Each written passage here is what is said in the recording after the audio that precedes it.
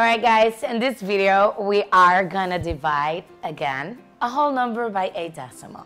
So how about if we divide this decimal, all right, and this whole number.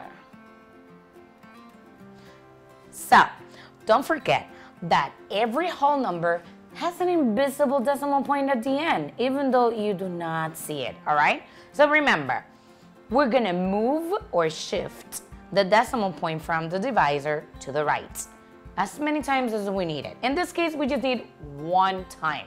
So I'm gonna do exactly the same to my dividend. One time. And then you move your decimal point up to your coefficients. Right here.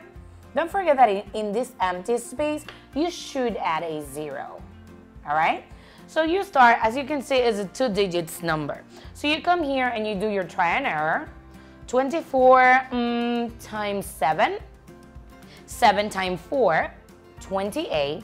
7 times 2, 14, plus 2, 16. Hmm, it's a little close, but not that much. How about if we try with 8?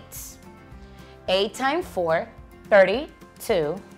8 times 2, 16, plus 3, 19. And I just got the same number that I'm looking for. Perfect. So you put here 8, don't forget, right on top of the 2. 24 times 8 is 192. All right? 2 minus 2, 0, 0, 0. Now you're ready to bring down the next digit, which is 0 again. So, how many times does 24 fits into 0? Well, actually, 0 times. Because 24 times 0 it's zero again. And that was it. I hope you guys, you already learned how to divide a whole number by a decimal. Bye-bye.